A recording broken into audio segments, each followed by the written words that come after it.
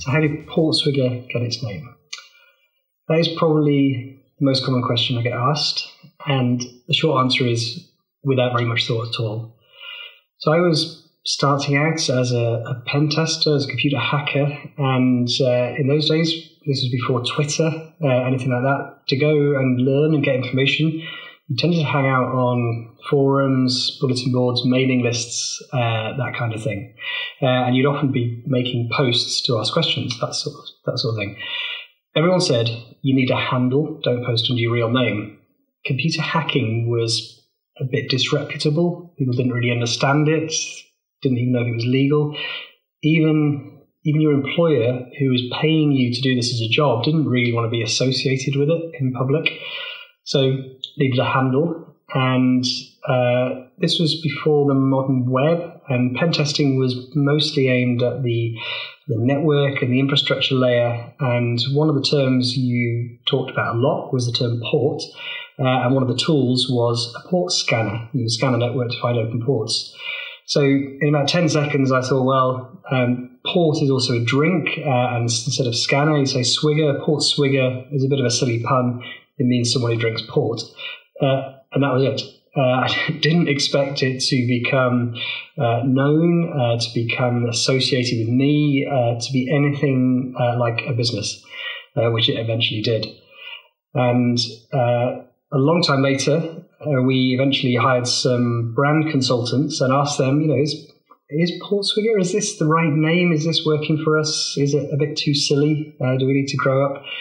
And they went and thought about it, and fortunately, they came back and said, You should keep it because uh, it's different. Everybody else has names like net and sec and tech uh, in, in their name, and there's nobody else like Portswigger, so at least you stand out, uh, which is what I wanted to hear because I wasn't going to change it anyway.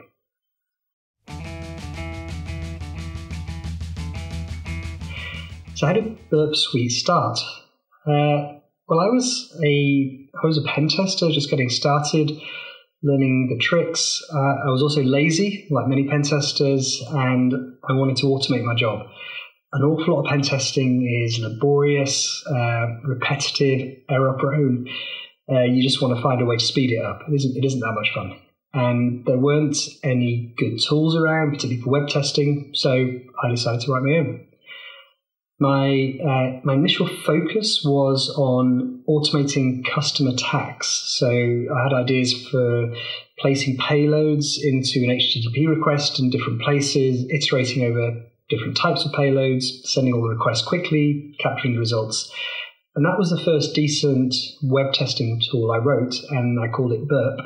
And that eventually evolved into Burp Intruder. And then along the way, I also wrote a proxy, uh, a spider, repeater tool, various other bits and pieces, and put them all together. And that became Burp Suite.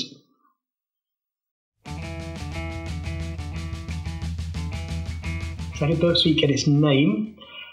For no real good reason. So I was, in those days, I was in the habit of writing uh, disposable tools every few days, start on work on some other little tool or other, run with it for a bit, get bored, do something else. And I tended to give them all random names without any thought at all. And one day I was working on this tool and I called it Burp. And that just ended up being the one that I ran with and carried on working for years and years. I had no idea at the time I started that it would last longer than any of the others, but it did.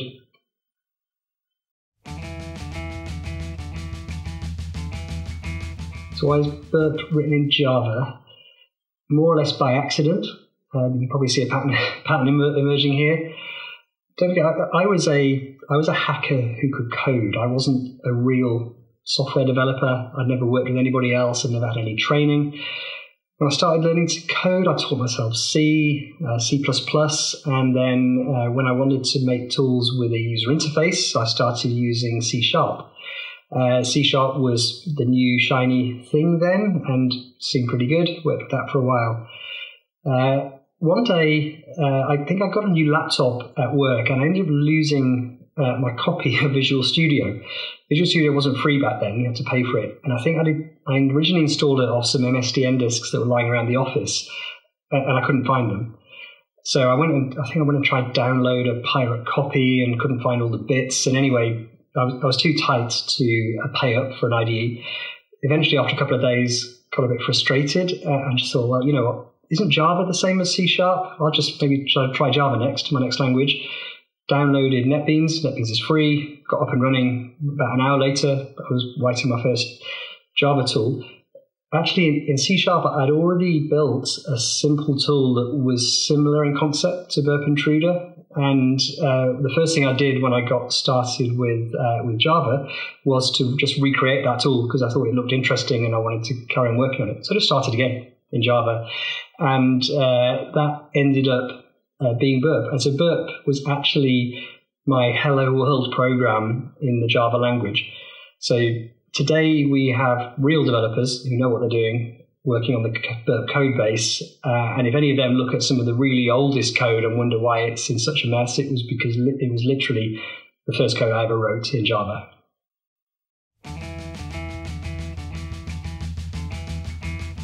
So when did I realize that Burp Suite could be a successful business? Well, for a long time, for many years, it was a just a pure labor of love. I was just doing it for fun. I enjoyed thinking about difficult problems, building solutions to them, writing code, and sharing what I built with other people. It, it also made my job uh, more efficient steadily over time. So I got this virtuous circle going where I'd spend some time working on Burp, write a feature that made me more efficient so I could do my job quicker. So I had a bit more time to work on Burp. But that was just really good fun for ages. Uh, Burp was doing pretty well. It, it was nowhere near uh, enough money to live off, but it was just it was a really nice little hobby to have. And then one day uh, we did some consultancy for a huge software company who were considering uh, buying a web vulnerability scanner, and they asked us to look at all of the scanners that were out there and uh, assess them to see how good they were. Uh, and I was leading that job, and so I did that My conclusion was these scanners really suck. All kinds of bugs that were really, you know, commonplace, you ran into all the time in pen testing, they didn't find them.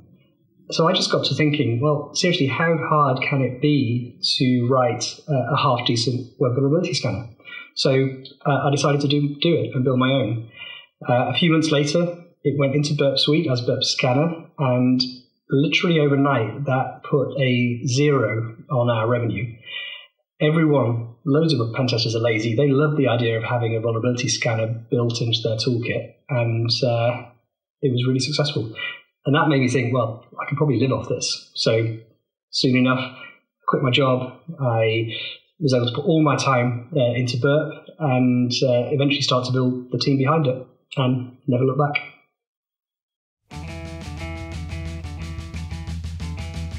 So it's my favourite Burp Suite feature? Um, there are probably two answers to that. There's uh, an answer from the heart uh, and an answer from the head.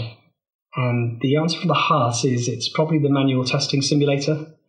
So this was uh, a really silly joke feature that I put into Burp uh, a long time ago. I can't even remember writing it or why. I must have just been bored one day and it was a bit of fun. And what it basically does, it simulates the activity of a manual tester by sending traffic to the website that you're attacking, you're targeting, just to make you look busy. And the idea was if you're on a on a pen test and you need to take some time off to, to have a lunch or meet a friend or go to the gym, where you just leave this running, and uh, if anyone's looking at the firewall logs or the server logs, it'll just look like you're you're still busy. Uh, so just released this for a bit of fun. It turned out quite a lot of people are using it. Uh, we had uh, we get occasional bug reports from users who really missed the point. They say they've been running the manual testing simulator all day and it hasn't reported any issues. Uh, we occasionally, uh, one time we got a, a, a Burp customer contact us to say they'd engaged a pen tester to test their website and they were looking at the server logs and they could tell he was just running the manual testing simulator and they wanted us to look at the logs and confirm this so they could uh, take it up with him. And we kind of said, well, we probably shouldn't get involved. This is between uh, between you and him. So that's the kind of that's the fun feature that I, that I think is the coolest. The more serious answer, the answer from the head, is definitely Burp Collaborator. So Burp Collaborator is absolutely incredible. It's, uh, it finds invisible bugs. It finds asynchronous vulnerabilities that are only triggered after you finished your testing, uh, it, it, it just finds issues that are completely uh, undetectable in the application's behavior that you can observe as a directly as a tester or, or as a scanner. This, this really was a game changer. So traditionally, there's just been this dichotomy between different approaches to scanning. So SAST or static application security testing traditionally people say, well, you know, it has high coverage, it finds a lot of bugs, it also has a huge number of false positives, generates a lot of noise. Whereas DAST, uh, dynamic scanning, has lower coverage, doesn't find as many bugs, but then it tends to be more accurate, doesn't have as many false positives. You take your choice. Well, Burp Collaborator, we call it OAST, which is uh, out of band application security testing. This has way better coverage than DAST because it can see inside the application and it can trigger vulnerabilities that have no visible effect on the application's behavior. But it's also pretty much free of false positives. So if we send a payload to exploit, say, SQL injection containing an obfuscated domain name, if something on the server side does a DNS lookup on that domain name, we can be pretty certain that that payload was processed in SQL query and that it was vulnerable. So it's, it's a fantastic step forward in the whole paradigm of dynamic scanning. So that's the real answer. The overall coolest feature in Burp Suite, I would say, is Burp Collaborator.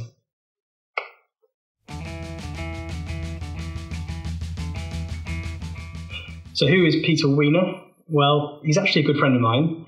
It's not quite his real name, He's a guy, he, he's a pen tester. Many years ago, we were working together on site, and he went to uh, up to a door and buzzed the intercom to be let into the building and said his name. And the person on the other end, other end misheard, and they said, Peter Wiener. And uh, we just had a bit of a laugh about that, and it just stuck as a nickname, and we started to call him it. A bit later, I was working on the Burp Spider feature where you would submit forms and send inputs. And when I needed a name, I just decided to use Peter Wiener, half as a little tribute to him, but just mostly to wind him up a bit, bit of a joke.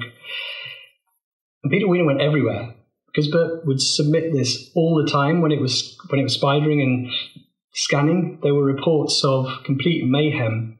People with printers where Peter Wiener's name was showing on the LCD screen of the printer loads of people whose help desk was getting hammered with 10,000 emails all coming from Peter Wiener when the pen test was on. Some people started to complain, and initially we, we, thought they're just being silly. You know, we, we obviously knew Wiener is a euphemism. We thought it can't be that offensive because it's a real surname, right? A while after that, we discovered apparently in North America, Peter is also also has a double meaning for for the same organ and you put the two together, and we realised, well, actually, that does sound a bit more juvenile uh, than we intended. But still, you know, full forgive. We aren't too corporate. We like to have a joke, uh, and we just decided to let it let it be. But over time, we realised some users were actually getting into trouble because of this. They would go to a, a closed meeting at the end of a job. They'd have to explain to the client what they'd done, and the first question the client had was why Peter Wiener's name was everywhere. So eventually, we killed him off but the legend lives on. And Pete actually is very proud. This is his claim to fame. When he meets new uh, pen testers, new security testers, uh, he's uh, really proud to tell them that he is the original Peter Wiener.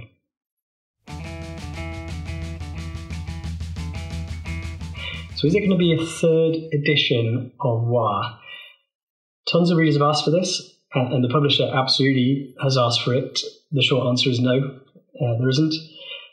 Really some really big downsides of writing a book. You do a ton of work all at once. It starts to go out of date. It's it's not interactive. People can't discover it easily through search. And basically, I couldn't face doing it all over again. So instead of the third edition of WAHH, we made the Web Security Academy. And this is online, it's digital, it's interactive, it's completely free for everyone. It's constantly updated. We have over 150 vulnerability labs where you can learn how to find real vulnerabilities safely and legally. So, to anyone still reading the Web App Handbook now, I would say this is the time to switch and discover the Web Security Academy.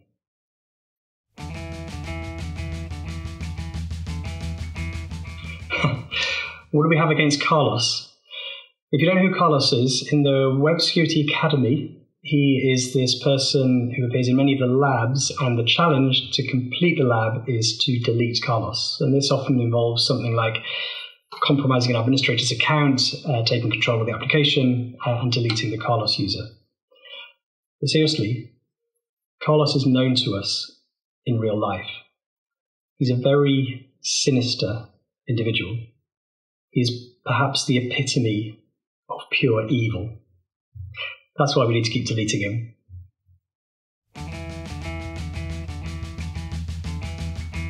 So, how did I get into web security without a real plan to do so? When I was at uni, I studied philosophy. Uh, I was there, stuck around a long time. I was there eight years. I did a PhD. I was doing lecturing. I was really considering a career uh, in academia. And then I got a bit bored of it. So I needed a job. As a, as a child, I'd always played around with computers. I taught myself to program in BASIC on things like ZX81, ZX Spectrum. So I thought, well, you know, I'll find something I can do with computers. So my first job was a general IT consultant, and I learned a lot about tech, uh, but it wasn't too exciting. A lot of things like project management, uh, audits, security policy stuff, things like that. And then one day I got to know some people at the company who were doing this thing called penetration testing or computer hacking. And this sounded way more fun. I managed to get onto a training course they were running. Uh, I taught myself a lot of things as well. I started playing around, writing bits of tools to help me. Eventually, I got on some actual pen testing jobs they were doing, uh, and that was my big break. I absolutely loved it. I loved breaking into things. I loved being devious. Uh, I loved the kick you get when you own something. Uh, it was full of interesting challenges. I just really love building things, solving problems, sharing sharing the tools that I, I built to do so. It ticked every box for me, uh, and I never looked back.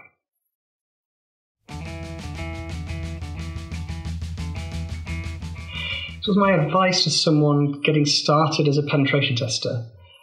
Well, expect to work hard, expect to teach yourself an awful lot. I would say today the Web Security Academy is the best educational resource for learning web security and hacking. So I would start there. I would learn to code. You can write your own tools. You can customize other tools. You can use the Burp API to write amazing Burp extensions to, to do to do crazy things. Writing code means you, you understand how developers think and the kind of mistakes they can make, and that really helps you uh, as a hacker when you're trying to break in. I would spend a lot of time on bug bounty sites. Years ago, when I started, the only way you could legally test a site for vulnerabilities was on a paid engagement where they're giving you approval. These days, there are thousands of sites on the web that let anybody come and hack them, uh, and they will pay you for the bugs that you find. Go to sites like HackerOne to find good, bug, good bug bounty sites to work on. I would also read the public reports of bug bounties. There are masses of write-ups of vulnerabilities where you can see how other hackers have found them and the evidence that evidence they got and the methodology they used. I would also form a network, go to events, make friends in the industry, share ideas with them. But mainly, work hard, keep learning. Web security is a huge area, but it is all great fun.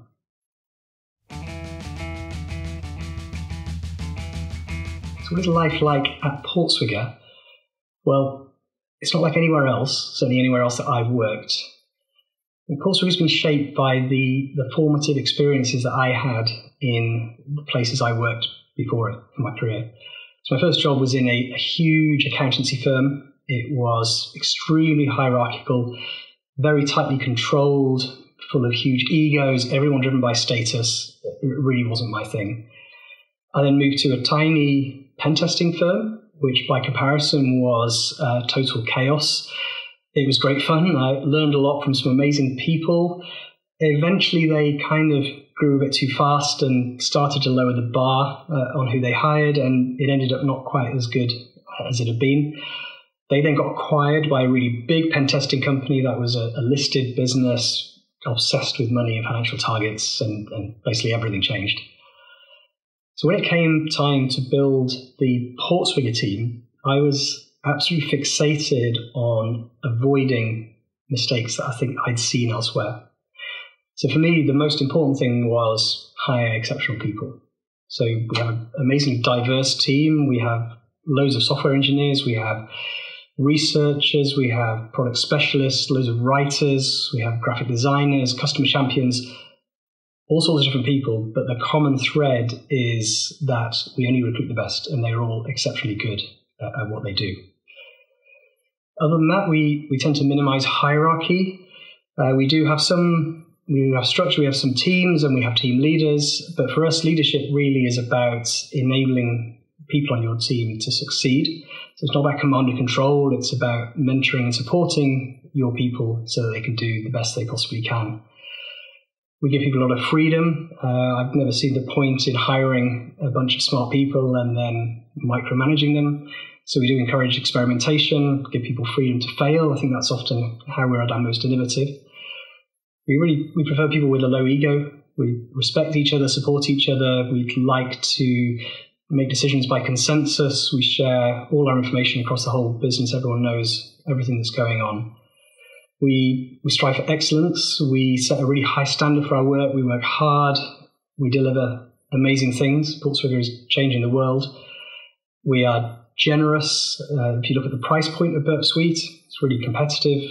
Uh, we give away a lot of our output, our research, the Daily Swig, the Web Security Academy is all free. We pay our people what they're worth, we pay them well. We give a lot of money to charity.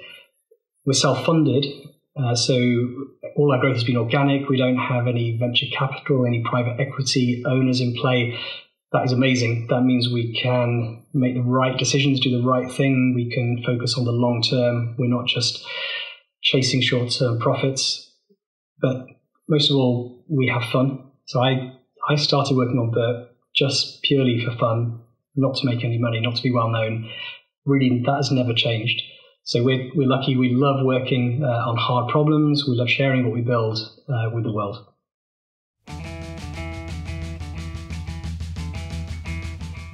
So, Portswigger's plans for the future. Well, it's an exciting time to be in cybersecurity. I think it's on everyone's radar, whether it's consumers worried about their data, small businesses who don't have the security skills they need in house or don't know where to get help. For, large enterprises, security today is a board level issue. The world has changed essentially. Security is no longer optional for anyone, it's an essential. So keeping the trust of your customers is imperative if you're going to survive. And our focus is on enabling the world to secure the web. And that means giving everyone the tools and the knowledge they need to gain that trust and making it easy and fun, not uh, a burden. So, in terms of what we're doing, we always think big. We have huge ambitions for Burp Suite uh, and for our other services and outputs. Web pen testing is in our DNA. We're going to keep uh, Burp Suite the best pen testing toolkit that there is. We've got huge ideas for building on browser automation uh, to support new kinds of custom automated attacks. We, for the for, for the scanner, we're going to continue to innovate. We're going to keep up with modern applications and technology, discovering new classes of bug.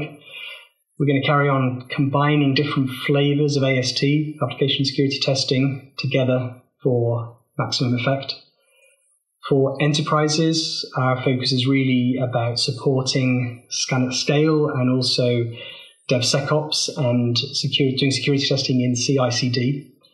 We're going to we're doing a lot of work on cloud native capabilities so that Burp Enterprise Edition can fully benefit from the huge elasticity that the modern cloud uh, provides.